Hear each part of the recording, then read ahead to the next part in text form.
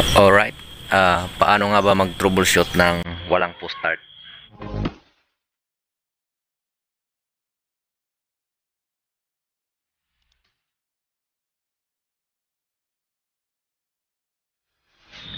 Yan mga korsyak, ah tuturuan ko kayo mga, mga korsyak.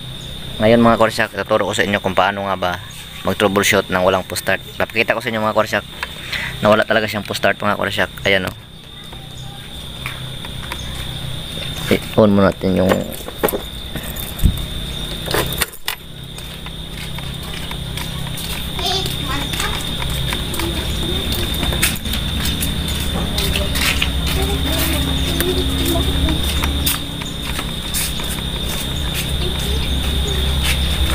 ganun mga korsyak ah tatlo lang yung tinitingnan ko dito mga korsyak either sira yung yung switch push start mo or ah sira yung relay mo or ito yung itong starter motor yung sira. Pero kadalasan naman talaga mga korsyak hindi naman to nasira yung ano starter motor eh. At saka yung ano yung push start. Itong push start medyo madali rin masira to. Pero sa tingin ko mga korsyak iba yung ano ko dito eh. Kasi wala talagang tao ayan o pinupost natin wala talagang tao. So ayan.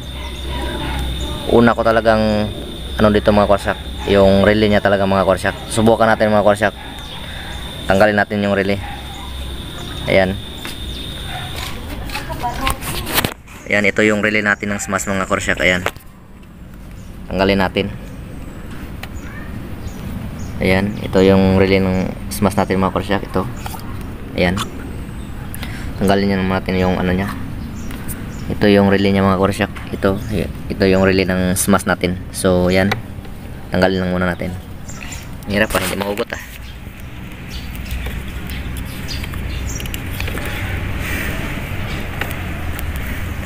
Hugutin ko lang muna mga korsyak wala kasi ako taga video ngayon eh.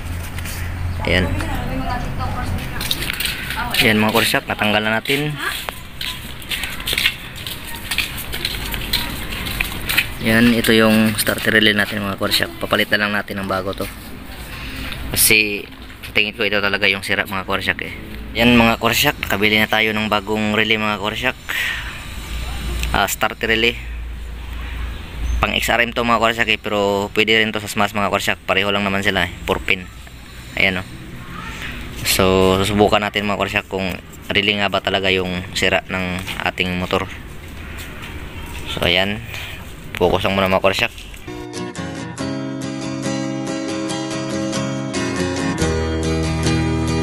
ayan sampak na mga korsyak sampakan na. Bago natin ibalik mga korsyak subukan muna natin yung start. Ayan. Ayan mga korsyak susubukan natin i-start nakabit na natin eh. Subukan natin mga korsyak ayan o nakabit na natin. Ayan sana ito lang yung sira mga korsyak para hindi na tayo mahirapan pa. Basic lang to mga korsyak na pagkawiring ayan i-on na natin mga korsyak so ayan. Subukan natin.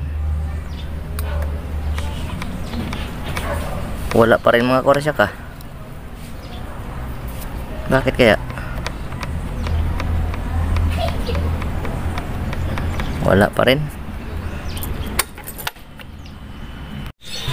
lilinisan muna natin yung uh, push start mga korsyak switch baka ito yung diferensya mga korsyak hindi na nag ano yung contact point nya kaya linisan muna natin. Yan tingnan natin yung push start mga korsyak kasi baka ito yung diferensya mga korsyak eh. Tanggalin muna natin sa kanyang pagka ano mga korsyak switch mga korsyak tanggalin muna natin yung wire tapos linis lang natin. Baka yung contact point nya hindi na mag-aabot kasi dami ng dumi mga korsyak alikabok ayan. Kukunin ko lang muna mga korsyak ha tatanggalin ko lang muna mga korsyak ayan mga korsyak oh ang dumi ng mga korsyak kailangan ng linisan mga korsyak ayan oh. Siguro dito sa contact point niya mga korsyak yung ano niya. Yung problema kasi ang dumi na oh. Nag molds na Ang dumi. Linisan ko lang muna mga korsyak ah. Yan mga korsyak, nilinisan lang muna natin mga korsyak. Ito yung wire ng push start natin mga korsyak ko. Ayan oh. Grabe ang dumi mga korsyak. Tapos ayan, ito yung push start natin. Nilinisan lang muna natin. Baka dumi lang to mga korsyak. Ayan guys, tinanggal natin yung push start switch guys. Ayan oh. Ang dumi sa ilalim. Kailangan nyo yan linisan yung mga ganyan mga korsyak. Kasi pag hindi nagkontak yan syempre hindi rin siya nagano ng power. Kaya ayan. Nilinisan natin yan sa ilalim. Ayan o tapos dito nilinisan din natin yung ano nya ayan o ayan nilinisan din natin. A few moments later. ayan mga korsya ko ang dumi ng mga korsya ko tingnan mo mga korsyak grabe ang dumi mga korsyak ayan o linisan mo natin mga korsyak ha ayan guys. Nalinisan na natin. Ibalik lang natin. Malinis na yan sa ilalim mo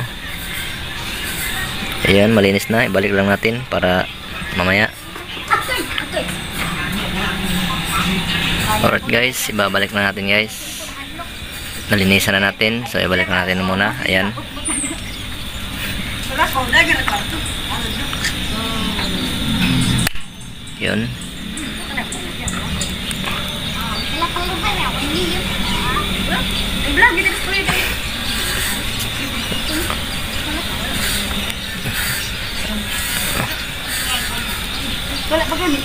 pa. Ayan, nabalikan natin mga korsak. So,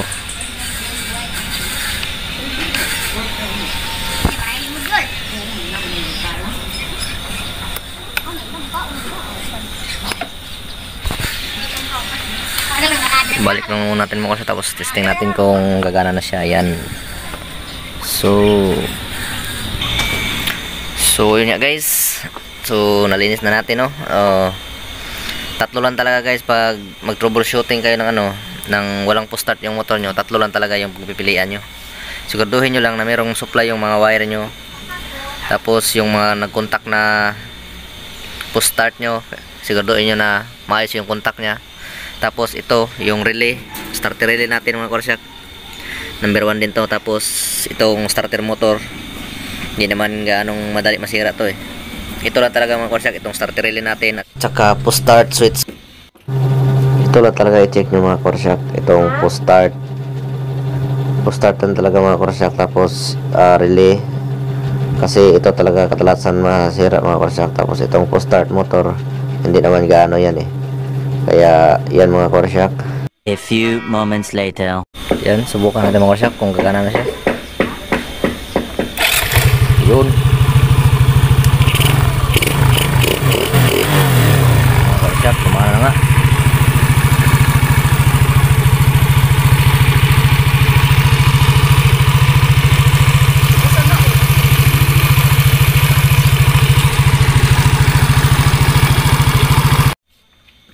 Ayan nga mga korsyak, yung sira talaga mga korsyak ay contact point lang ng ating push start. Dapat linisan nyo yan, lihaan nyo yung contact point niya para uh, mag-spark, ta- kaagad siya. Tapos itong relay mga korsyak, okay naman yung relay natin. Tapos yung push start motor natin, start motor, okay naman. So yun lang talaga mga korsyak, yung contact ah, point ng ating push start yung problema natin. Kaya madali lang mga korsyak yung tatlo lang talaga mga korsyak yung anohin natin yung post start natin at saka yung relay at saka starter motor mga korsyak yun talaga yung ay check natin pag nagano tayo ng ah, walang post start yung motor natin. Kaya yan mga korsyak maraming maraming salamat. Sana may natutunan kayo sa aking video. Ayan, ingat mga korsyak sa pag-wiring ng ating mga motor mga korsyak na basic wiring ng mga korsyak na matutunan nyo. Kaya like this video mga korsyak and don't forget to like and share subscribe mga korsyak